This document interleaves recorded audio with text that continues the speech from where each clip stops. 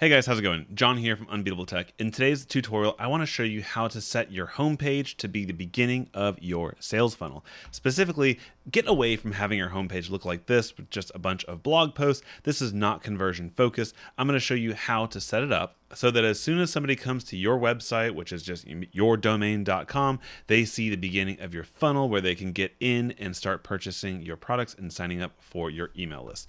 It is super simple. It only takes a couple of steps. Let's go ahead and dive right in. All right, so the first thing I want to do here is let's go into the back end of our web website by going to our website slash WP admin, and we'll come on down to WooFunnels. In this example, we're using WooFunnels as our funnel builder, but the same thing can work with CartFlows or any other plugin really that you're using. In this case, though, I got the question about WooFunnels, so I thought I'd answer it. We'll come here and go to Funnels. All right, now we see a list of our funnels here, and I made one specifically called Homepage Funnel just to help out with this demonstration. So we'll go ahead and click into the funnel we want to work with, and let's see what this page is. I'm gonna go ahead and view it.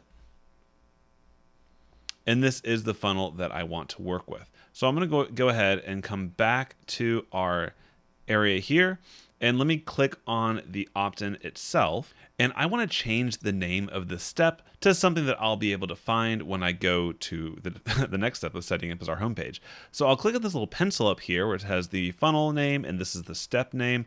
I'll click on the pencil and let's change this over to free ebook. And then we'll also change the URL slug to free ebook. But again, this one doesn't matter so much since we're setting this up as our homepage. All right, and let me actually remove that uh, dash there. So now it's just free ebook and I'll say update. Cool. So now all you have to do is come on down to the, your settings into reading. We'll click into reading.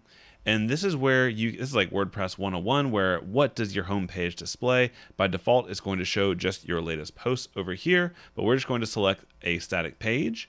And it's not only pages that will show up, you should also see your free ebook, which was what we just named a second ago. So I'll select that and hit save. And now, if everything worked correctly, whenever I go to view site, it will not show my blog post. It will now show the beginning of my funnel. And now I can dive in and start getting leads and sales just like that.